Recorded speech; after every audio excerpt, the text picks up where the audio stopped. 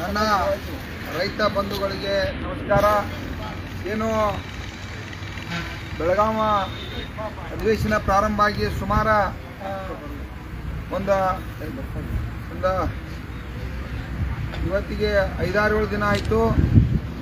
ಏನೋ, ನಾವೆಲ್ಲ ಈ ಉತ್ತರ ಕರ್ನಾಟಕ ಭಾಗದ ರೈತರೆಲ್ಲ ಕೂಡ ಇವತ್ತ ಉತ್ತರ ಕರ್ನಾಟಕದ ಭಾಗದ ರೈತರು ಕೂಡ ಇವತ್ತು ಏನೇ ಆಶಯ ನಿರೀಕ್ಷೆ ಇಟ್ಟಿದ್ದಪ್ಪ ಅಂತಂದ್ರೆ ಈ ಭಾಗದ ಜ್ವಲಂತ ಸಮಸ್ಯೆಗಳು ಬದಲ ಗಂಭೀರವಾಗಿ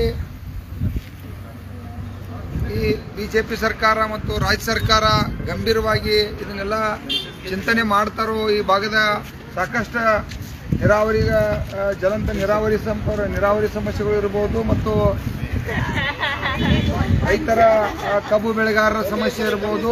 ರೈತ ವಿರೋಧಿ ಕಾನೂನುಗಳ ಏನ ಇದ್ದು ಇವೆಲ್ಲ ವಾಪಸ್ ಆಗಬೇಕು ಅನ್ನೋದು ಕೂಡ ಇವತ್ತು ಕರ್ನಾಟಕ ರಾಜ್ಯ ರೈತ ಸಂಘ ನಿರಂತರವಾಗಿ ಏನು ಹೋರಾಟನ ಪ್ರಾರಂಭ ಮಾಡಿತ್ತು. ಆದರೂ ಕೂಡ ಇವತ್ತು ಈ ರಾಜ್ಯದಲ್ಲಿ ಇರ್ತಕ್ಕಂಥ ಈ ಪಿ ಸರ್ಕಾರ ಯಾವ ರೀತಿ ಕೂಡ ರೈತರಿಗೆ ಸ್ಪಂದಿಸಿರ್ತಕ್ಕಂಥ ಸರ್ಕಾರ. ಯಾಕಪ್ಪ ಅಂತಂದ್ರೆ ಸಾಕಷ್ಟು ರಾಜ್ಯದಲ್ಲಿ ಇವತ್ತು ನಮ್ಮ ದನಕರುಗಳು ಆಕಳ ಇವತ್ತು ಹೋರಿ ಎತ್ತ ಸಾಕಷ್ಟು ಇವತ್ತು ಸುಮಾರು ಮೂವತ್ತು, ನಲ್ವತ್ತು, ಐವತ್ತು ಸಾವಿರ ಗಂಟೆ ಇವತ್ತು ರಾಜ್ಯವ್ಯಾಪಿ ಇವತ್ತು ದನಗಳ ಸತ್ರು ಕೂಡ ಅವ್ರಿಗೆ ಸರಿಯಾಗಿ ಪರಿಹಾರನ ಕೊಡ್ತಾ ಇಲ್ಲ. ಬರೀ ಸಾಂಕ್ಷನ್ ಮಾಡಿದ್ವು ಅಂತೇಳಿ ಇವತ್ತು ಉಡಾಪಿ ಉತ್ತರವನ್ನು ಇವತ್ತು ಸರ್ಕಾರಗಳು ಕೊಡತ್ತಾವು ಅದಕ್ಕಾಗಿ ಈ ರಾಜ್ಯದ ಮುಖ್ಯಮಂತ್ರಿ ಗಂಭೀರವಾಗಿ ಅರ್ಥ ಮಾಡ್ಕೋಬೇಕು. ಯಾಕಂದ್ರೆ ಒಂದು ವಾರ ಆತ ನಾವೇನೋ ರೈತರ ಬದಲು ಚರ್ಚೆ ನಡೆದೈತಿ, ರೈತರಿಗೆ ಒಂದು ಒಳ್ಳೆ ನ್ಯಾಯ ಕೊಡಿಸ್ತೀರಿ. ಕಬ್ಬು ಬೆಳೆಗಾರಿಗೆ ಏನ ಒಂದು ಟನ್ ಕಬ್ಬಿಗೆ ಸುಮಾರು ನಾಲ್ಕೈದು ಸಾವಿರ ರೂಪಾಯಿ ಒಂದು ಟನ್ ಕಬ್ಬಿಗೆ ಗೌರ್ಮೆಂಟ್ಗೆ ತೆರಿಗೆ ಹೋಗ್ತೈತಿ. ಆ ಹಣದಾಗ ಏನಾರು ತಾವ ರೊಕ್ಕ ಕೊಡಿಸ್ತೀರಿ. ಒಂದು ಟನ್ಗೆ ಏನಾರ ನಾವು ಎರಡು ಸಾವಿರ ರೂಪಾಯಿ ಬೇಡಿಕೆ ಇಟ್ಟದು ತಾವೇನಾರು ಒಂದು ಒಳ್ಳೆ ನಿರ್ಣಯ ತಗೊಂಡ ಹಿಂದೆ ಎರಡು ಸಾವಿರ ಹದಿಮೂರು ಹದಿನಾಲ್ಕರಾಗ ಹೆಂಗೆ ಸಿದ್ದರಾಮಯ್ಯ ಸರ್ಕಾರ ಇದ್ದಾಗ ಕಾಂಗ್ರೆಸ್ ಸರ್ಕಾರ ಅವಾಗ ಮೂರ್ನೂರ ಐವತ್ತು ರೂಪಾಯಿ ಪರ್ ಟನ್ ಕೊಟ್ಟಿತ್ತು.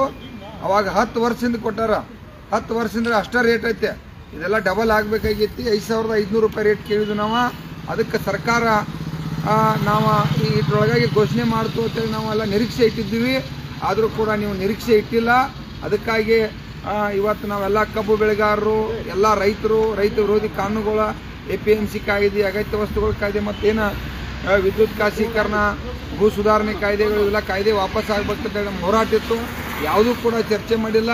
ಹಿಂಗಾಗಿ ತಾವು ಭಾಳ ಎಚ್ಚರಿಕೆಯಿಂದ ಇರಬೇಕಾಗ್ತೈತೆ. ಯಾಕಂದ್ರೆ ಇಲ್ಲೆಲ್ಲ ಈ ಭಾಗದಾಗ ನೀವೆಲ್ಲ ಇನ್ನು ಮುಂದೆ ದಿನಮಾನದಾಗ, ಕೆಲವೇ ದಿವಸದಾಗ ಹೊಳ್ಳಿ ಮತ್ತು ಸರ್ಕಾರ ಇವತ್ತು ನಿಮ್ಮದು ಕೊನೆ ಅಧಿವೇಶನ ಐತಿ.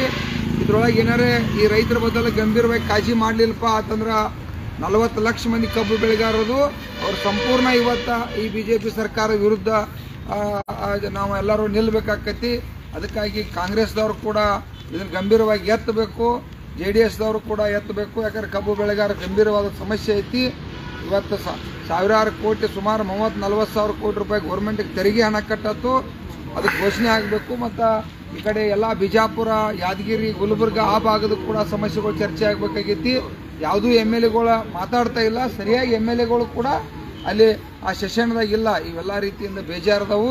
ಅದಕ್ಕೆ ನಾವೆಲ್ಲ ರೈತರ ಜಾಗೃತ ಆಗಿದ್ದು ಮತ್ತು ಕೂಡ ಸೋಮವಾರದಿಂದ ಇವತ್ತು ಪ್ರತಿಭಟನೆಗಳ ಎಲ್ಲ ರೈತರು, ಎಲ್ಲ ರೈತಪರ ಸಂಘಟನೆಗಳು ಒಕ್ಕಟ್ಟಾಗಿ ಹೋರಾಟ ಮಾಡ್ತಾನೋ ಅಂತ ವಿಚಾರಗಳು ಕೂಡ, ಸಂದೇಶ ಕೂಡ ಬರ್ತಾ ಇದ್ದಾವೆ ಅದಕ್ಕೆ ತಾವೆಲ್ಲ ಸರ್ಕಾರ ಎಚ್ಚೆತ್ತ ತಕ್ಷಣ ಒಂದು ಡಿಸಿಷನ್ ತಗೋಬೇಕು. ಯಾಕಂದ್ರೆ ಇಲ್ಲಿ ಇಷ್ಟು ದಿವಸದ ವಾರ ಆತ ಈ ರಾಜ್ಯದ ಮುಖ್ಯಮಂತ್ರಿ ಇಲ್ಲಿ ಅಧಿವೇಶನ ನಡೆಸತ್ತನು ಸೌಜನ್ಯಕ್ಕಾದರೂ ಇಲ್ಲಿರ್ತಕ್ಕಂಥ ರೈತರ ಮುಖಂಡರನ್ನು ಕರೆದ, ಈ ಭಾಗದ ಜ್ವಲಂತ ಸಮಸ್ಯೆಗಳ ಬದಲ ಇವತ್ತು ಒಂದು ಚರ್ಚೆ ಮಾಡ್ತಕ್ಕಂಥ ಸೌಜನ್ಯ ಕೂಡ ಇಲ್ಲ. ಇದೆಲ್ಲ ಇವತ್ತು ನಾವು ಪೊಲೀಸ್ ಇಲಾಖೆ, ಏನೋ ಒಂದು ಗೌರವ ಕೊಟ್ಟ ಪೊಲೀಸ್ ಇಲಾಖೆ ಅವರಿಗೆ ನಮ್ಮದೊಂದು ಏನೋ ಇರಲಿ ಹಿಂದಿಲ್ಲಿ ನಾಳೆ ಭೇಟಿ ಮಾಡಿಸ್ತಾರೋ ಅಂತೇಳಿ ಗೌರವ ಕೊಟ್ಟು ಶಾಂತಿದ್ದು ಇನ್ನು ಮುಂದಿನ ದಿನಮಾನದಾಗ ನಾವು ಶಾಂತ ಇರಲಿಕ್ಕೆ ಸಾಧ್ಯ ಇಲ್ಲ. ಯಾಕಂದ್ರೆ ನಮ್ಮ ಬದುಕ ಇವತ್ತೆಲ್ಲ ಹಾಳಿಗೆ ಹಚ್ಚಿ ಬೀದಿಗೆ ಬರತ್ತು ನಾವೆಲ್ಲ ಸರ್ಕಾರಕ್ಕೆ ಸಾವಿರಾರು ಕೋಟಿ ಟ್ಯಾಕ್ಸ್ ಕಟ್ಟಿದ್ದು ತತ್ಕ್ಷಣ ಕಬ್ಬು ಬೆಳೆಗಾರಿಗೆ ಒಂದು ಸಿಹಿ ಸುದ್ದಿಯನ್ನು ಈ ರಾಜ್ಯದ ಮುಖ್ಯಮಂತ್ರಿ ಕೊಡಲೇಬೇಕು ಕೊಡದೇ ಹೋದ್ರೆ ಇವತ್ತು ಸೋಮವಾರ ಜನರ ಪ್ರತಿಭಟನೆ ಪ್ರಾರಂಭ ಆಗೋ ಚಾನ್ಸ್ ಐತಿ.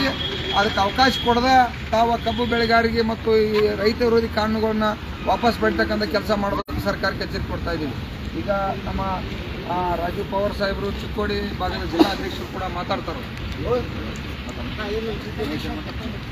ಹಾ? ಅದೇ ರೀತಿಯಾಗಿ ನಮ್ಮ